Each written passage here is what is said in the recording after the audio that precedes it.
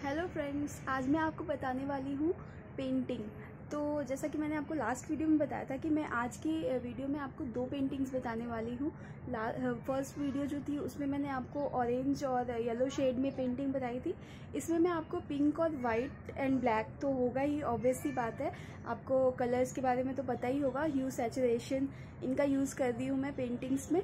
और उसके बाद एक और पेंटिंग बनाऊँगी, जिसमें मैं ब्लू एंड ब्लैक का यूज़ करूँगी वाइट होगा। तो पूरी वीडियो देखना और अगर आपको मेरी वीडियो अच्छी लगे तो हमेशा की तरह उसे लाइक ज़रूर करना और आप अपने फ्रेंड्स के साथ शेयर भी करना और अगर आपको और भी ऐसी वीडियोस देखनी है मेरे चैनल को सब्सक्राइब ज़रूर करना और आगे मैं आ, कौन सा ट्यूटोरियल लाऊं क्या चीज़ आपको सीखनी है अगर आपको आ, कोई भी रिक्वायरमेंट हो तो आप मुझसे बोले मैं डेफिनेटली कोशिश करूँगी कि मैं उस चीज़ पर वीडियो बनाऊँगी।